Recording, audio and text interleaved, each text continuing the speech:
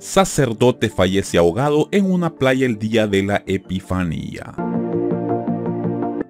El viernes 6 de enero, día de la Epifanía del Señor, falleció ahogado en una playa de Colombia el padre Luis Javier Palacio Palacio, de 71 años de edad. Según informa el diario El Colombiano, el sacerdote estaba en el mar de la urbanización Playa Linda en el corregimiento de Playa Mendoza, que corresponde al municipio de Tubara en el departamento Atlántico.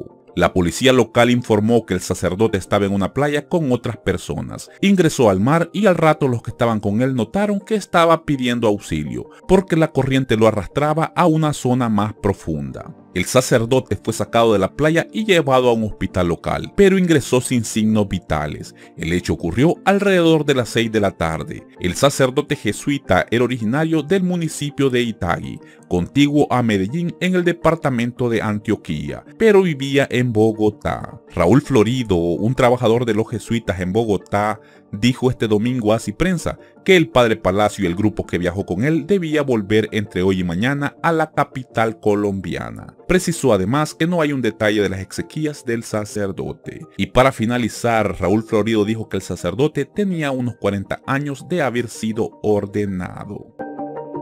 Levantemos, mis hermanos, una plegaria por el Padre Luis Javier Palacio Palacio de 71 años de edad, para que el Señor lo reciba en su santa gloria y brille para él la luz perpetua. Amén.